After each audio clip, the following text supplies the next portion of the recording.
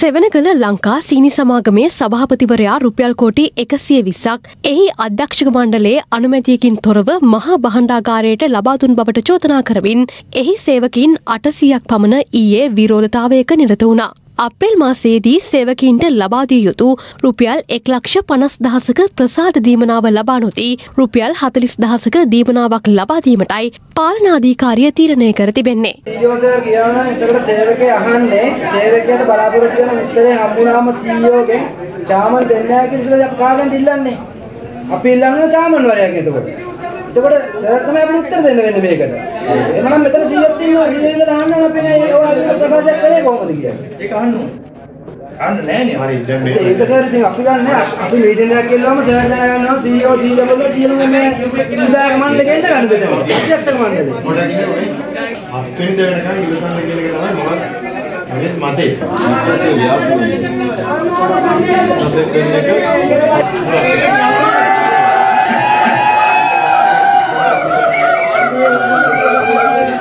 කෙසේ වෙතත් මෙම ගැටලුවලට විසඳුම් නොලැබීමත් සමඟ විදුලිය විසන්ධි කළ සේවකින් සභාපතිවරයා සහ මූල්‍ය කළමනාකාරණිය පැය හතරක පමණ කාලයක් නිලකාමරය තුළ සිර අඩස්සේ තබා ගැනීමටයි කටයුතු කළේ. වෘතිය සමිති නායකින් හත් දෙනෙකු සමඟ සභාපතිවරයා සාකච්ඡාවක් පවත්වා ඇති අතර එම සාකච්ඡාද අසාර්ථක වී තිබෙනවා. අනතුරුව පොලිස් නිලධහරින් ඇතුළු ආරක්ෂක අංශ පැමිණීමත් සමඟයි තත්ත්වය පාලනය කිරීමට හැකිවුණේ.